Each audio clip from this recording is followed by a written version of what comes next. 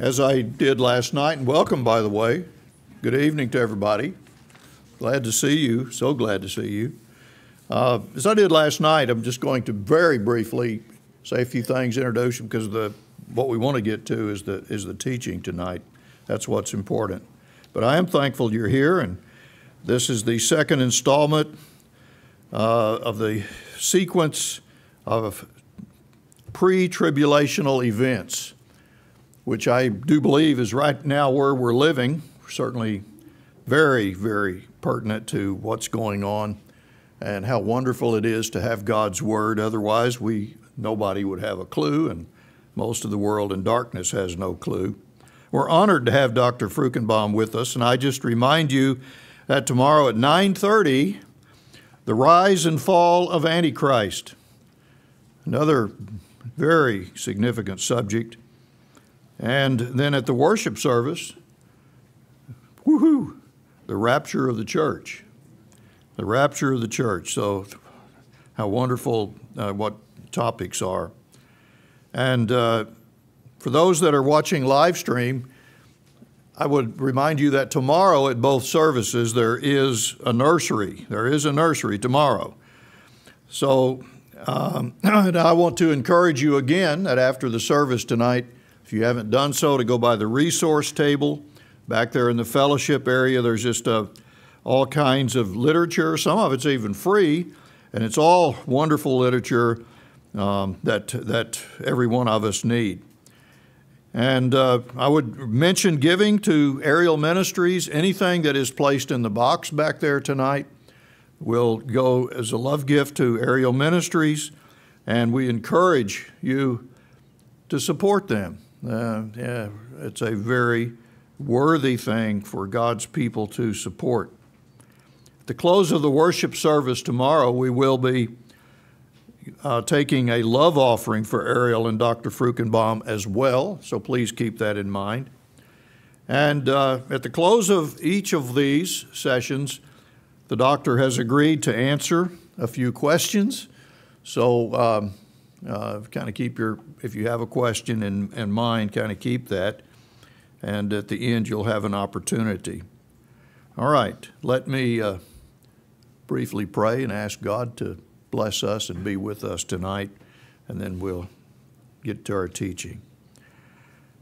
Father, we know that each meeting and each opportunity for us to hear your precious word is ordained in our lives even by you. Bring to us through your servant the things we need, Father, tonight.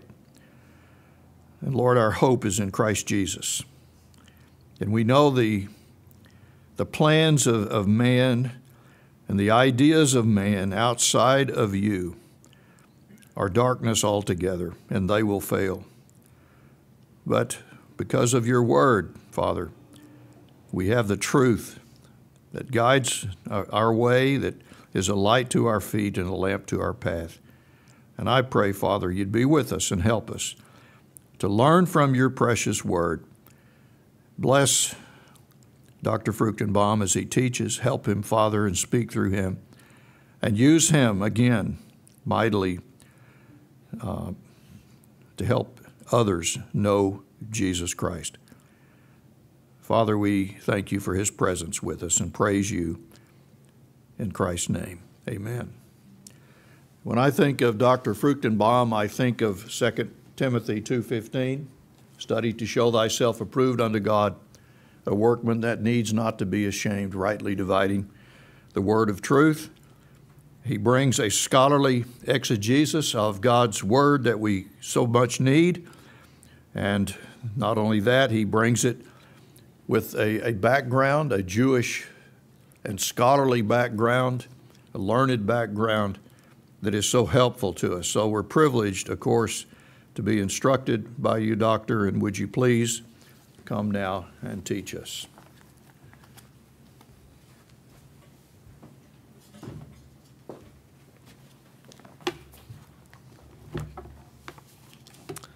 Hopefully, everybody here has an outline to continue what we began last night.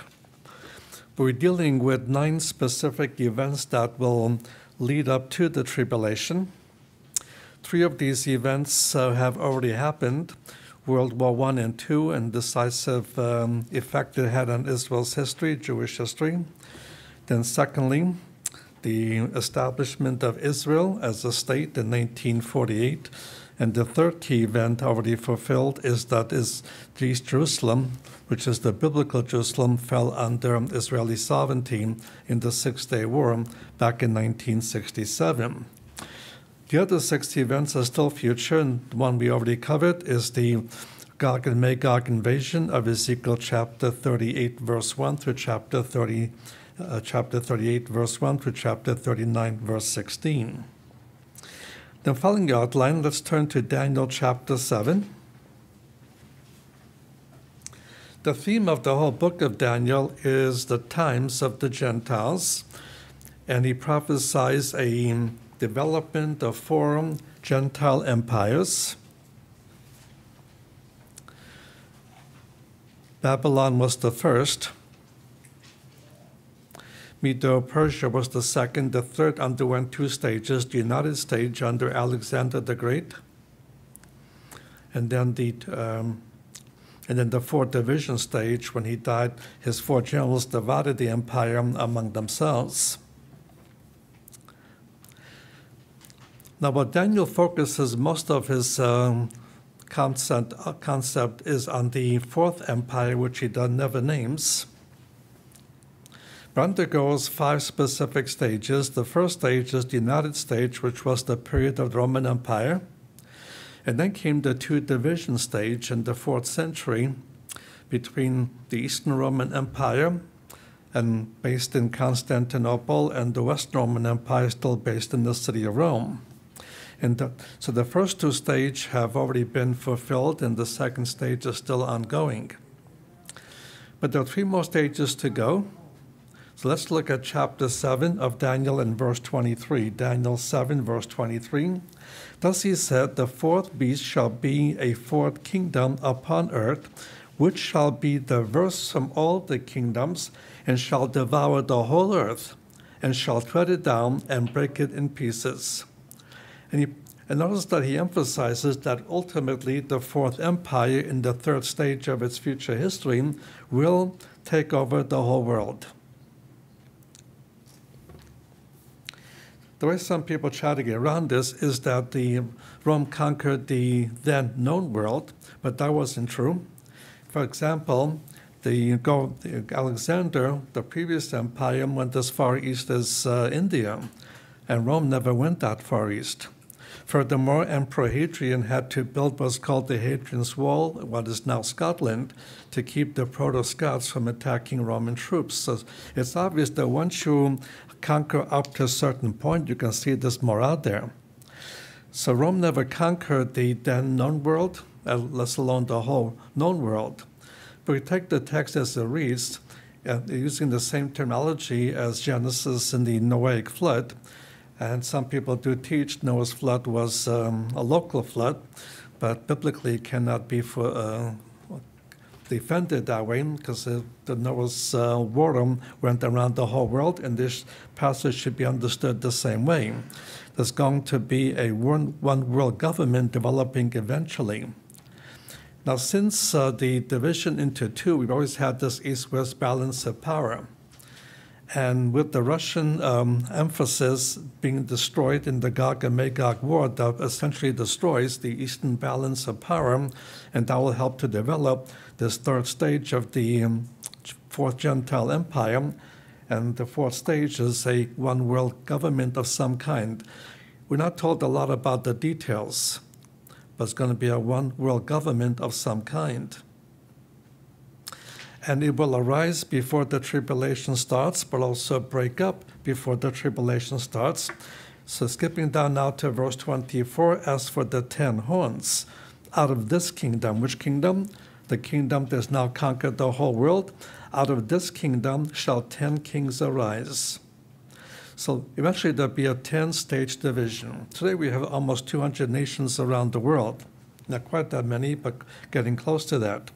But Eventually, there'll only be 10 Gentile nations plus Israel. And so the 10 division stage will both arise, but eventually also uh, cont- uh, also eventually continue until the midpoint of the tribulation, but it will arise before the um, before the tribulation starts. And the 10 division stage will st- start before the tribulation and continue until the midpoint of the tribulation. Verse 24 then goes on, and another shall arise after them, and he shall be diverse from the former, he shall put down three kings. Eventually, this uh, little horn, which is the Antichrist horn, he will declare war against all ten kings. In the middle of the conflict, he will kill three of them, and then yet the seven will submit to his authority. Now, tomorrow, we'll start this tonight, but also the mostly in the first hour tomorrow on the rise and fall of the Antichrist. So we'll pick this theme up again at that point. We look at um, events following the one world government, then we have the next stage, the 10 kingdom division. And the king, 10 kingdom division will begin before the tribulation and continue right to the middle of the tribulation.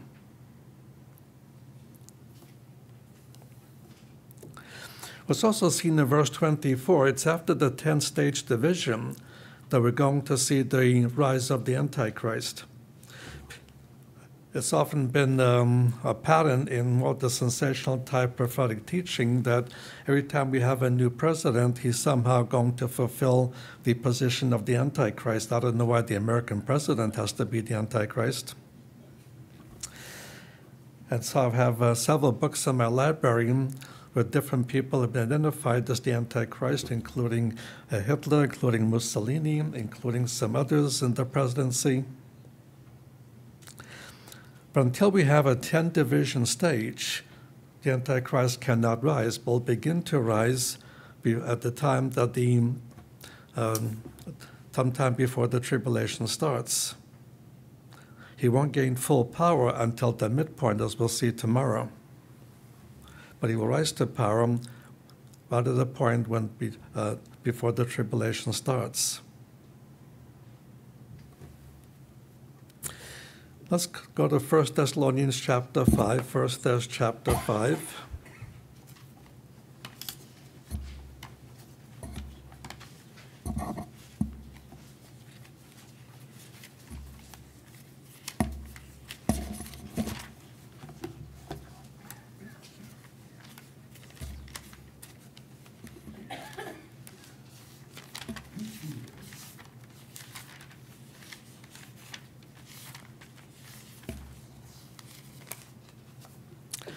In chapter 4, verses 13 through 18, he describes the rapture event.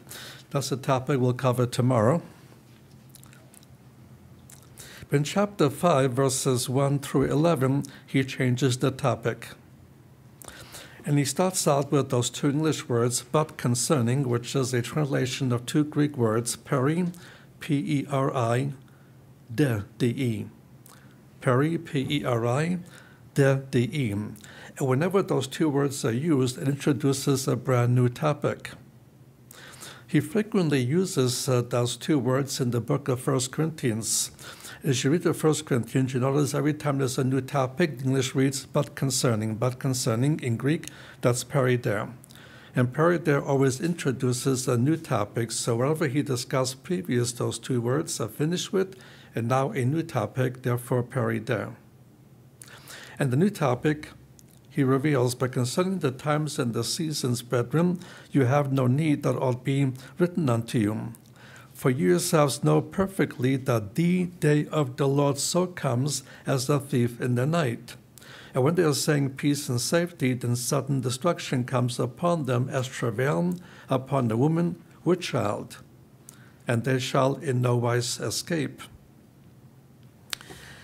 The new topic, notice, is the day of the Lord. And again, that's the most common phrase in both testaments of what we now call the tribulation. He now starts a brand new topic, the tribulation. And he points out they already know the details because this is part of what he taught them when he was still with them in Thessalonica. And what he points out the, about the events that will um, be part of the nine events that lead up to the tribulation is the period of peace and false security in verses 1, 2, and 3. So, verse 3, when they're saying peace and safety, then sudden destruction comes upon them as travail upon a woman with child, and they shall in no wise escape. So, just before the tribulation actually starts, which starts with the seven year covenant,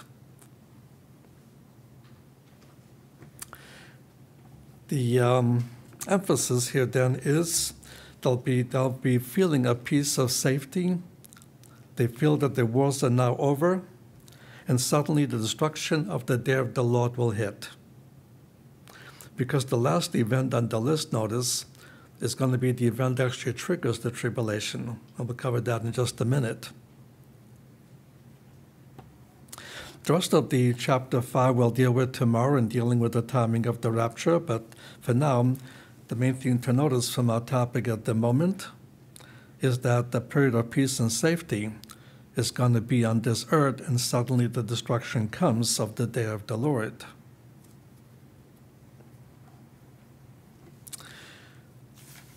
Okay, let's go to this to the event that actually triggers the tribulation, and let's go back to Daniel, but this time chapter nine.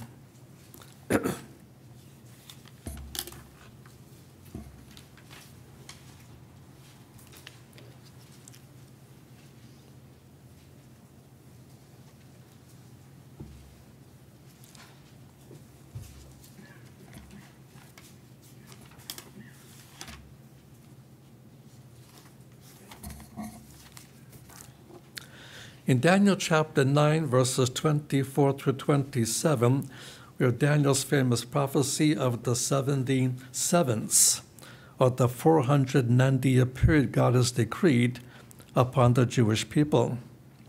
It goes beyond our purpose for the topic we're covering to go through this whole passage phrase by phrase. But if you do this on your own or have done it, what you notice is that by the time you come to the end of verse 26, the first 483 years of this 490 year period has already been fulfilled historically, ending at the time of the first coming of the Messiah. There's still seven years left to run of this prophetic time clock of Israel, the same seven years as those of the tribulation. And the question now is what will be the singular event that will finally actually trigger the tribulation and the seven years then begin. Now look in verse 27, and he shall make a firm covenant with many for one seven. The pronoun he goes back to its nearest antecedent, that's found in verse 26 as the prince that shall come. In other words, the prince that shall come in verse 26, and the he who makes a covenant in verse 27 is the one and the same individual better known in our circles as simply the Antichrist. And so the actual seven years begin not with the rapture of the church. The rapture will simply precede the tribulation by some unknown amount of time. But the specific event that triggers the tribulation is the signing of this covenant, a covenant made to continue for the seven years length of time. Now, this presupposes two things. First of all, it presupposes that there is a Jewish state with a Jewish government with whom a covenant like this could be signed, and that has been true uh, only as of 1948 when Israel became a state. And so the first prerequisite to fulfill verse 27 is in place. There is a Jewish state and a Jewish government in the Middle East. But the second thing this presupposes is that the Antichrist would be of high political authority in order to be able uh, to sign a covenant of this nature, because sovereign states like Israel do not sign covenants with nobodies. And so, sometime, as we saw in the previous um, eighth stage on this list, during the period of rise of period of peace and security, just before that, there's the rise of the Antichrist. He continues to rise with capital H and finally has enough strength, enough authority, enough recognition in world to sign a seven year covenant with the people of Israel. This is often referred to as a peace covenant in modern times, but it's not a peace covenant. We'll see that in the next passage momentarily. Because uh, this is not a covenant that guarantees Israel peace, it simply guarantees Israel's security. Now, notice three things else in this verse. He shall make a covenant with many for one week. First of all, the covenant is made with many, and the many would have to include the Jewish leadership of Israel, empowered to sign a covenant of this nature, but it will not be made with all. Secondly, in the middle of the seven, he shall cause the sacrifice and the oblation to cease. The second event will happen in the middle of the seven years, where he will cause a forced cessation of the practices in the Jewish temple.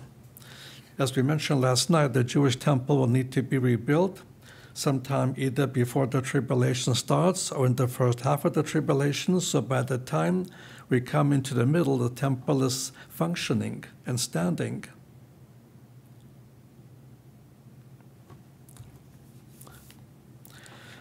And, but now, in the middle of the week, he will bring about a forced cessation of the sacrificial system. And the third key event, and upon the wing of abomination shall come one that makes desolate, and even to the full end, and that determines shall wrath be put out upon the desolate. The, sec- the third element is that once he breaks the covenant, once he takes over the Jewish temple to proclaim himself to be God Almighty, he will then begin a policy to try to annihilate the Jewish people once and for all. And that uh, the program of annihilating the Jews will begin at the midpoint of the tribulation. It is signaled by the abomination of desolation. And that is why in Matthew 24, verses 15 to 22, Matthew 24, 15 to 22, and the Jewish people uh, uh, see this event taking place, the Messiah told them, flee flee the city, flee the country. Because that signals the first, the, the final attempt to annihilate the Jews once and for all, be a Nazi like program. Won't be limited to Europe as it was under Nazi Germany. It'll be in a worldwide scale to try to annihilate every Jew living anywhere around the world. Now let's turn to a parallel passage. It's not on your outline, but it's in Isaiah chapter 28. Isaiah chapter 28.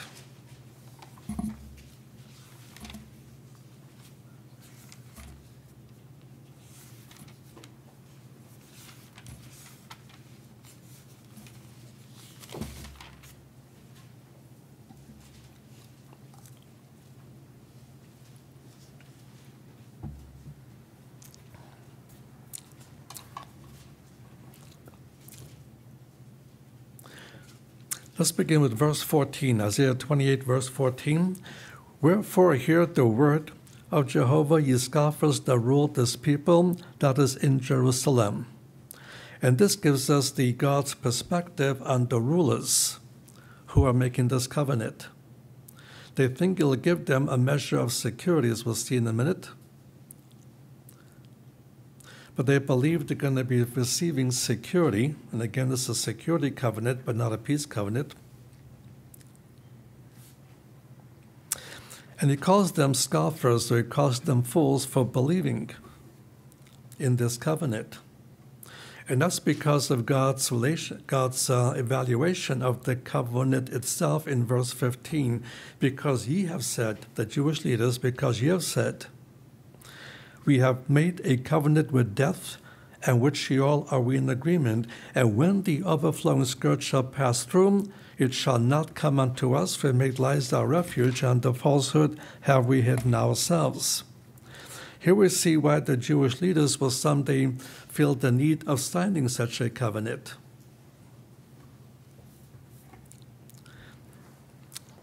Because they feel they finally get military security as a result of this covenant.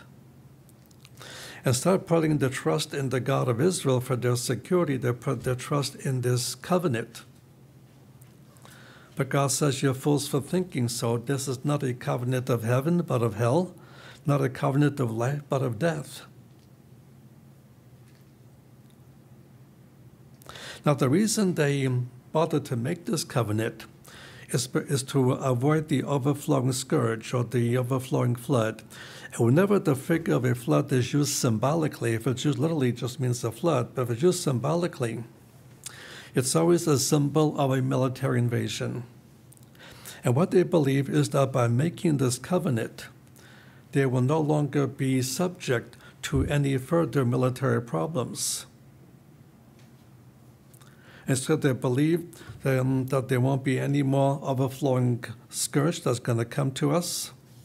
And the reason is we've made lies our refuge under falsehood, have we hidden ourselves. So again, it is this signing of the covenant that will trigger that seven year tribulation period. The same three things we mentioned in Daniel 9:27 also happen in this context. First of all, the covenant is made with the leadership and it's made with the majority, but not with all. And verse 16 says, Therefore, thus says the Lord Jehovah, Behold, I lay in Zion for a foundation a stone a tried stone, a precious cornerstone of sure foundation. He that believes shall not be in haste. Now, whenever the word stone is used symbolically, it's always a symbol of the Messiah. So he's referring to a group of Jewish people living at that time who became believers sometimes sometime after the rapture, and they know about this covenant and they know the real purpose of the covenant, and they will not go along with the policy of the covenant. And he, he that believes shall not be in haste. And these are Jewish believers in the Messiah living in that time, and they will not go along with this treaty because they put their faith in the stone, in the messianic stone. In the New Testament, this phrase is often quoted in reference to the Messiah.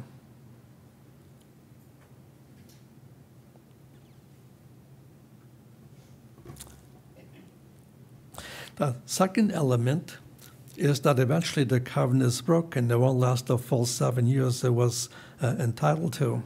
So in verse 17, I'll make justice the line and righteousness the plummet, and the hills shall sweep away the refuge of lies, and the waters shall overflow the hiding place. And your covenant with death shall be annulled. Your agreement with Sheol will not stand, and when the overflowing scourge shall pass through, then you shall be trodden down by it.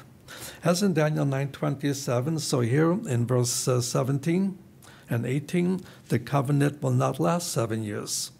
It will be broken. And in Daniel's prophecy, right in the middle of that seven year period, it will be broken. And now, in place of rece- receiving military security, now it becomes subject to further military problems.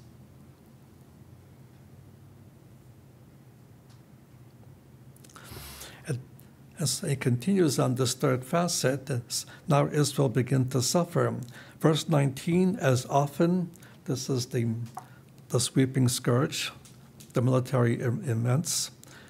As often as it passes through, it shall take you. From morning by morning, it shall pass through. By day and by night, it shall be nothing but terror to understand the message. For the bed is shorter the man can stretch himself out on it, and the cover narrower than he can wrap himself in it. What he points out in these verses, the place of being finding their security, they're now subject to inv- invasive attack one day after another, but by day and by night. And they'll suffer terror instead of suffering, um, instead of achieving the security, they can be suffering terror because with the abomination of desolation, then uh, Satan, using the Antichrist, will inaugurate the last attempt to annihilate the Jews once and for all.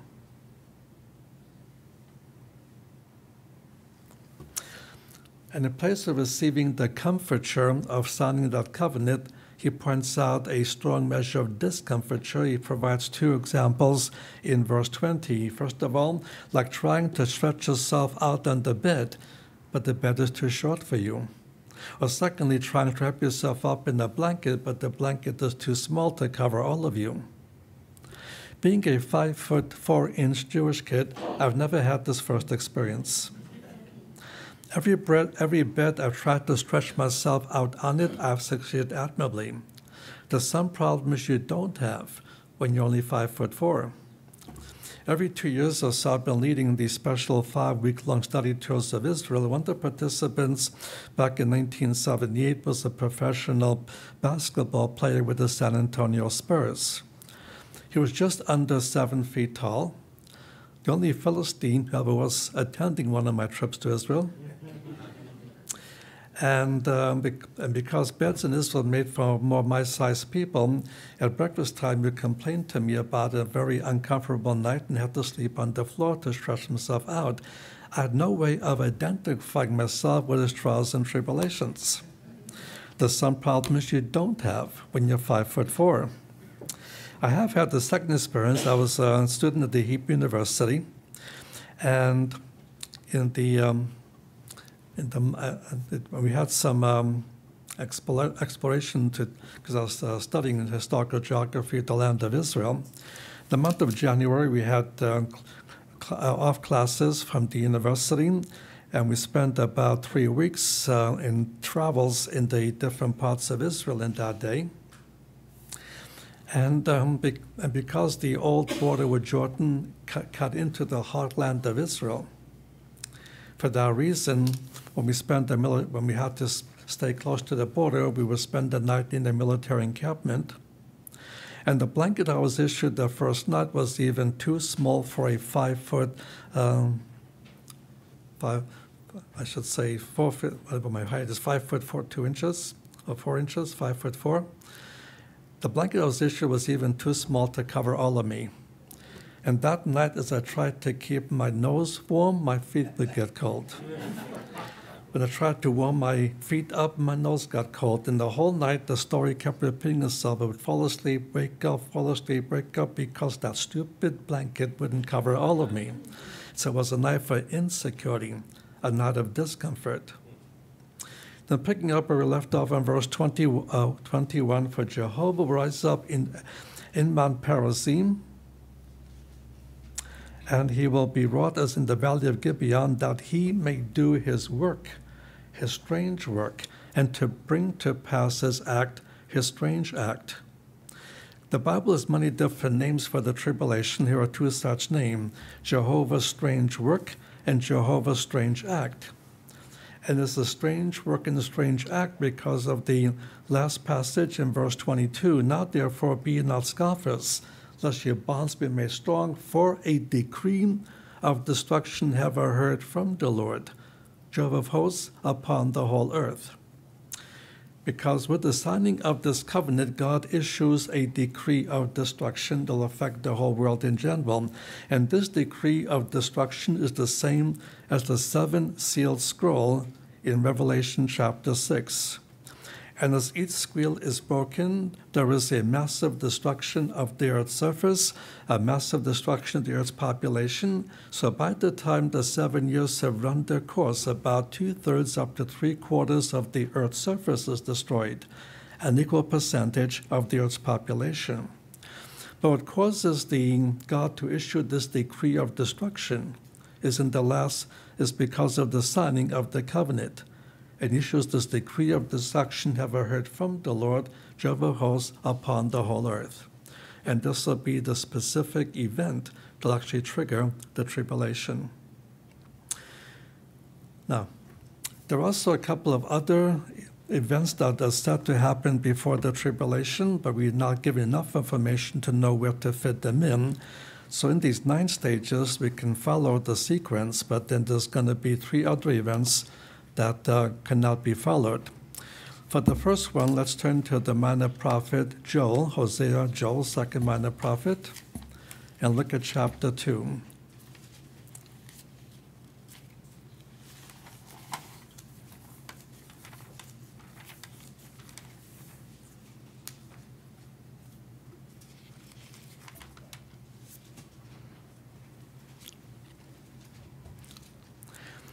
Joel 2, verse 31, Joel chapter 2, verse 31 The sun shall be turned into darkness, and the moon into blood, before the great and terrible day of Jehovah come.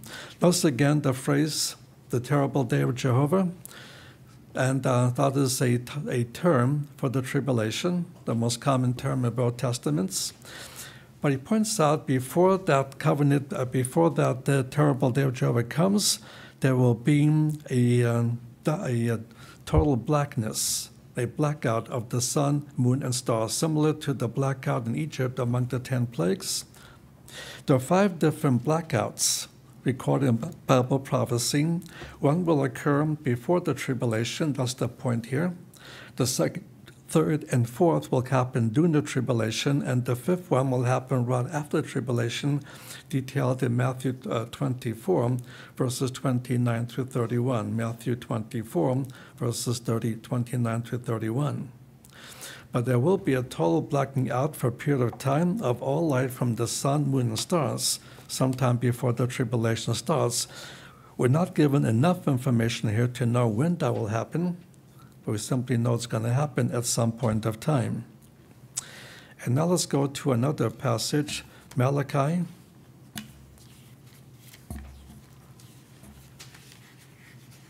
Some people think he was an Italian prophet. They call him Malachi. It's not Malachi. In Hebrew, it's Malachi, and in English, Malachi.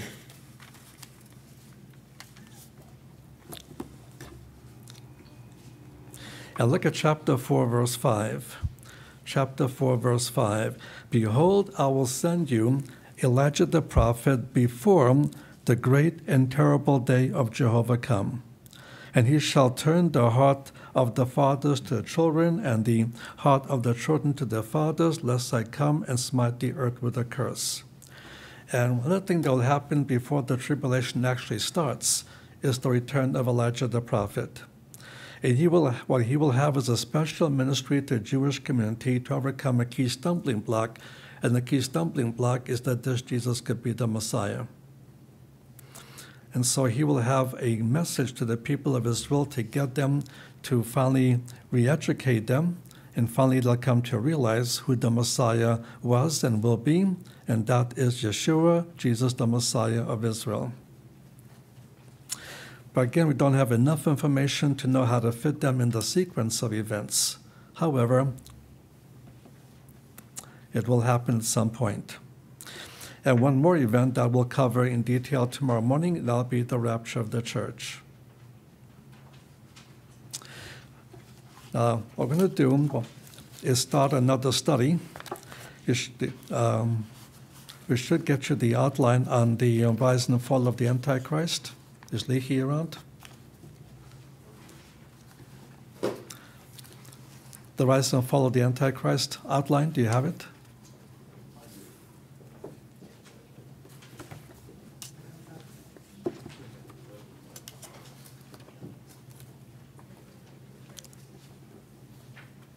But starting this tonight, we'll be able to finish both topics in the two sessions we'll have tomorrow.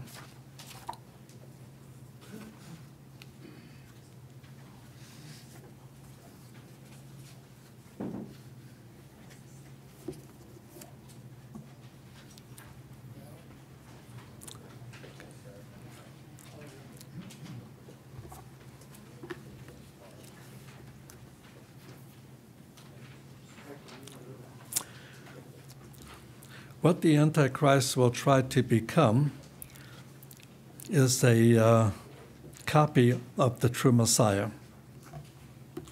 The true Messiah has a multiplicity of names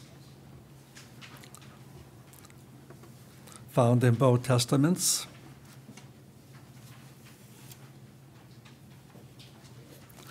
And each of his names says something about Messiah's person and something about Messiah's work. The same thing will be true with the counter Messiah, the Antichrist.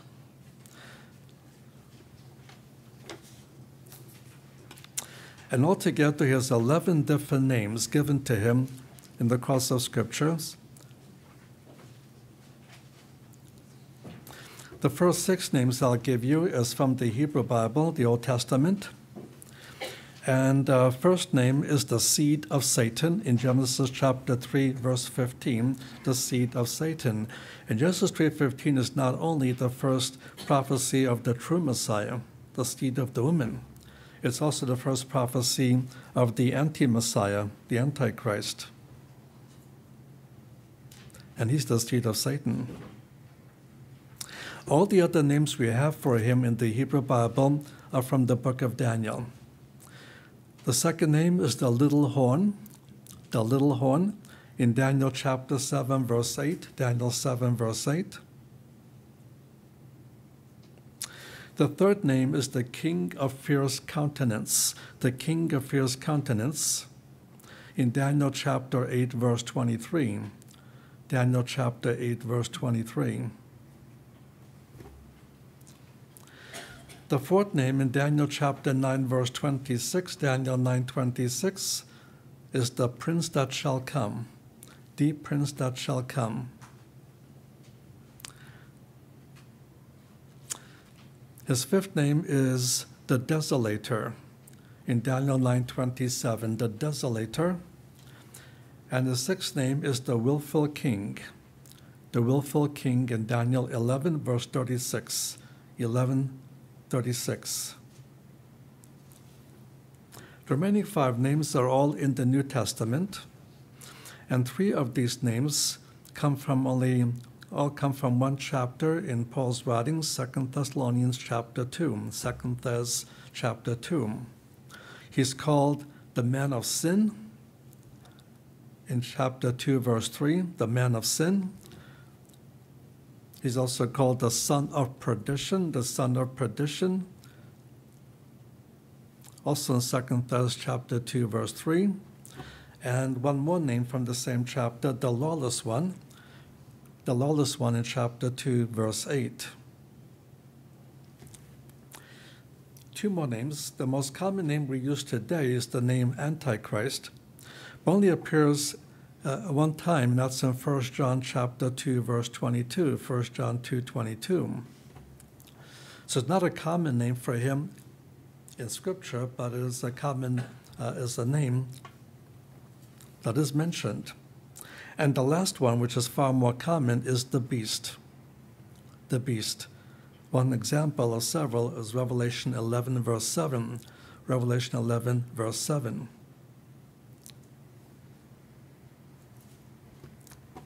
So the basic meaning under capital C of your outline, the true Son has a multiplicity of names,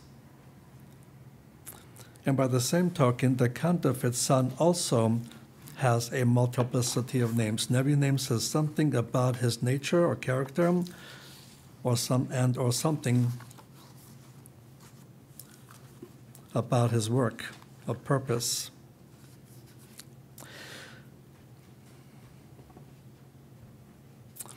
Okay, let's move on to the next segment the origin of the Antichrist. Let's go to Genesis chapter 3.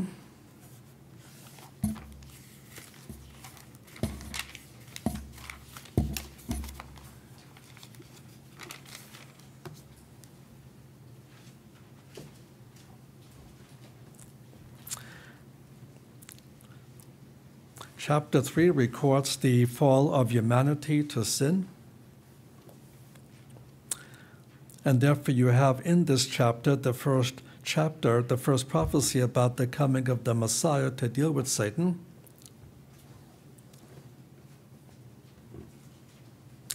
But it's often missed as also the first prophecy of the Antichrist. So let's look at verse uh, 15 of chapter 3. And I'll put enmity between you and the woman, and between your seed and her seed. He shall bruise your head, and you shall bruise his heel. What he points out here is this conflict of Satan against womanhood and womankind,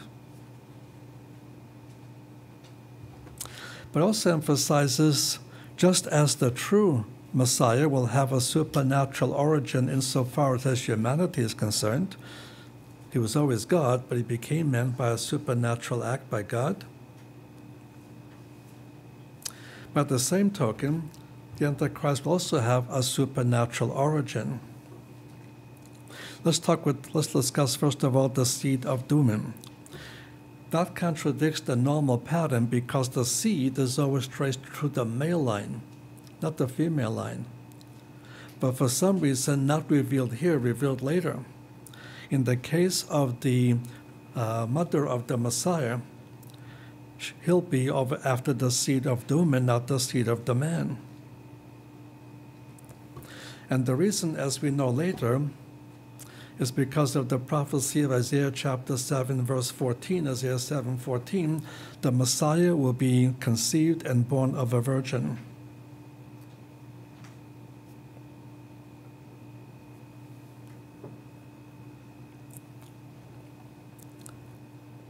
So, in the case of the Messiah, you have no choice. You have to reckon his line after the seed of the woman because there's no male line to trace him with. When you see the same word used twice in the same verse, it should be understood in the same way, unless there's a clear indication that it cannot be understood in the same way. So not only there is the seed of Duman, you also have the seed of the serpent, the seed of Satan.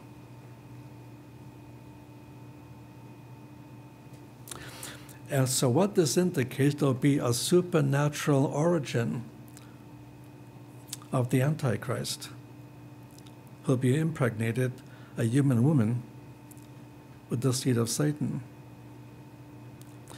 Now, something like this has already happened, not on the satanic level, but on the demonic level in Genesis chapter 6, verses 1 through 4, where many of the um, angels that fell with Satan, who became demons, whenever angels appear, they, off, they often appear, in fact, they always appear as young men, never as old men, never as women, but always as young men, and we're often mistaken for young men.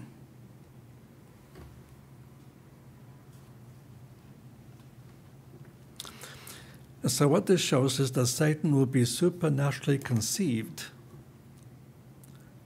It'll be a counterfeit virgin birth, supernaturally conceived by the power of Satan. According to Daniel chapter 9, verses 26 and 27, which we already looked at, he will be the final world ruler of the times of the Gentiles. He'll be the final, he'll be the fifth stage, and the final world ruler of the times of the Gentiles.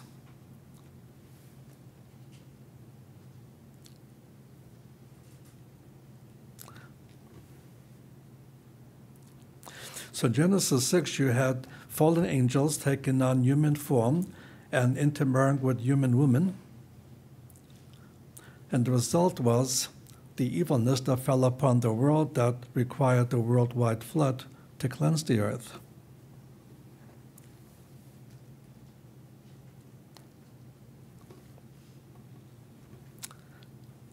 So, just as the true Messiah had both a natural origin, he was born of a woman, had a supernatural origin because the, the, the, the uh, conception was supernatural. But the same token, Satan will have a superhuman origin. His father will be Satan.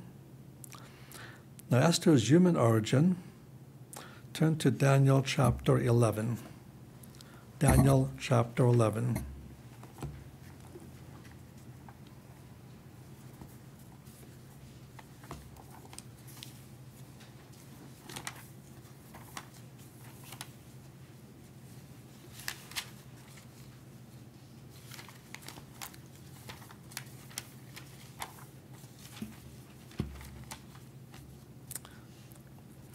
Look at verse 37. I'm reading from the ASV, the 1901 edition. And verse 37 says, Neither shall he regard the gods, that's plural, of his fathers, nor the desire of women, nor regard any god, who shall magnify himself above all Now, if you have the King James Version, it reads with the, literally capital G O D. But in the Hebrew text, he delineates carefully using the singular word for God and the plural form for God. And when it says the uh, in the King James version, he shall not regard he will regard the God of his fathers. Actually, that's the simple plural form. He will not regard the gods of his fathers.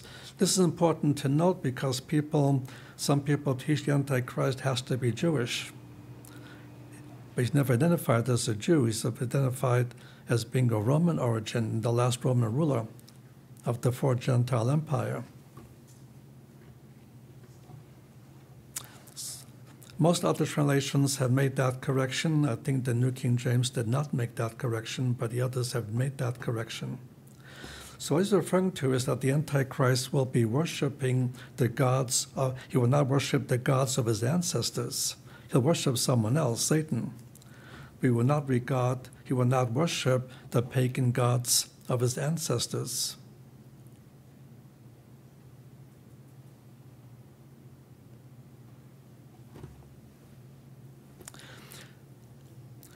So, as we shall see even more clearly tomorrow in our study on the Antichrist, he will be a Gentile of Roman origin. He'll be, he's going to be the last Roman ruler of the final form of the Fourth Empire. He'll be a Gentile of Roman origin. Others bring up another issue. They claim, well, in chapter 7 of Revelation, there's a tribe missing, the tribe of Dan and therefore the Antichrist will be from the tribe of Dan.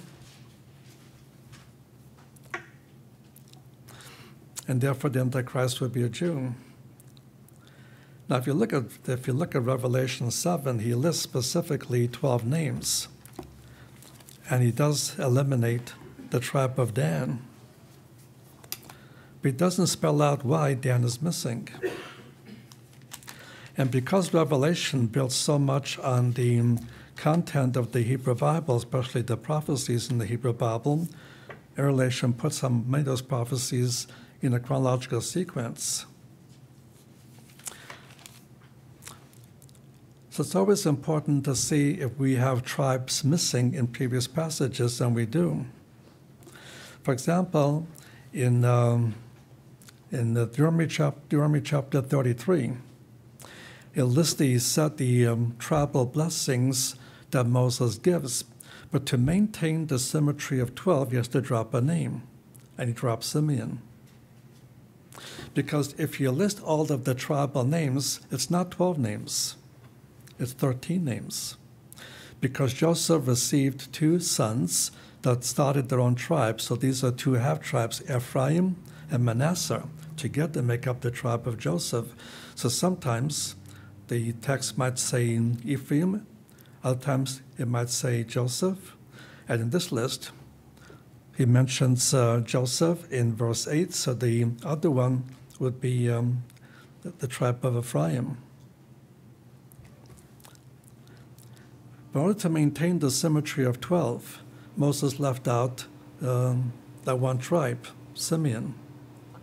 And then if you look at Revel, uh, if you study the two chapters in Ezekiel, chapters 47 and 48, we list how the 12 tribes are going to be settled in the Messianic kingdom, and he doesn't mention Levi.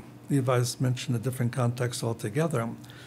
But he mentions 12 names, and guess what's missing? The tribe of Levi. And so the purpose of um, listing the 12 names, skipping a name, is to maintain the symmetry of 12. So, for the same reason that Moses left out a tribe and Ezekiel left out a tribe, that's the reason John leaves out a tribe. And that's just to maintain the symmetry of 12. Going back to Old Testament history solves the problem. So, it's really that simple. It's not because Dan disappears, because Dan is given tribal territory in Ezekiel 47 and 48.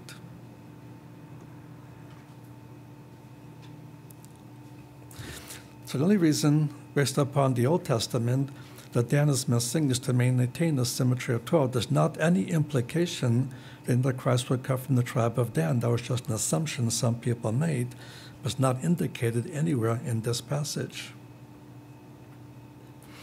So, as to his natural origin, he's going to be a descendant of a Roman woman that is impregnated by Satan. And what happened in Genesis 6 will happen again, but this one Satan himself will do so. As to his human origin, he'll be born of a woman of Roman origin. Born of a woman of Roman origin. So what you have here is a counterfeit virgin birth. And you have the concept of a counterfeit God man.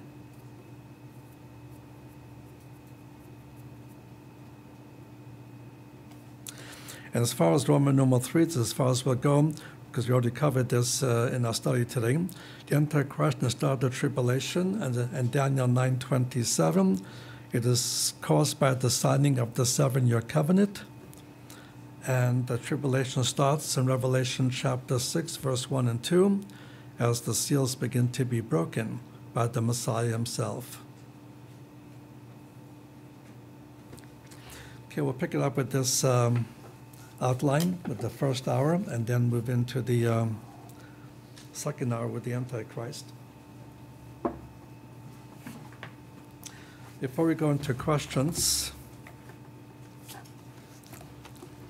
yesterday I showed you the prophecy book called The Footsteps of the Messiah, which covers all of the prophecies in both testaments in um, a way that gives us the sequence of prophetic events correlated with that is this book that came out uh, about three years ago, The Feasts and Fasts of Israel. It deals for all of the seven holy seasons, so Leviticus 23 shows how the first four feasts have been fulfilled by the first coming, but the last three festivals are yet to be fulfilled by the rapture and then the second coming and the kingdom. And uh, this covers all of these festivals, and we begin with the different uh, passages where they are listed. Secondly, the different names the that appear. Then thirdly, we deal with the um, biblical rules and practices. Then fourthly, with the rabbinic additions, of which there are many. And then fifthly, the messianic implications, messianic fulfillment of each of these. So this is available at the back table. I mentioned pamphlets. This is just one of them like, does God have a son? This is one of the objections of Jewish people against the Messiah. And there are the other topics, like how is it possible to be born of a virgin and things of that nature. And these are kind of pamphlets you can simply pick up and give to any Jewish context that you might, you might have. It's a good tool for evangelism. I did mention yesterday our online school.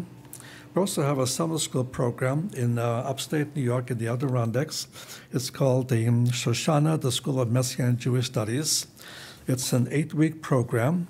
So we start with a two week curriculum, then a three week curriculum, then a one week, which is the one we teach every year, the life of the Messiah from a Jewish perspective, then a two week curriculum, and then we have the Labor Day weekend.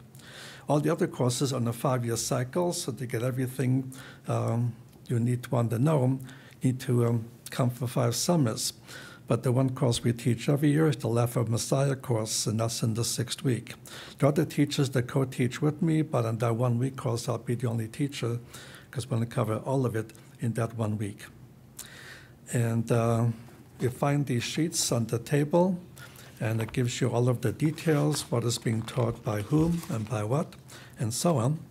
And I live here in San Antonio, and I can testify in the months of July and August, it's a great time to leave this hothouse and come up and enjoy the cool mountains of the Adirondacks in upstate New York, only 40 miles south of the border with Canada. And so you're welcome to come. As long as you have the freedom to come, you can come for a one week course, a two week course, a three week course, and the details are going to be right in here. And as far as um, pamphlets, this is going to deal with the rise and fall of the Antichrist. We have those on the table, and also the rapture of the church, which will be the two things we'll be finalizing in our study tomorrow. One more thing which is important to us.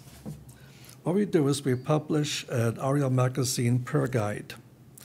And uh, many, uh, there are people in almost every church that are prayer warriors, especially in the mission field and so on.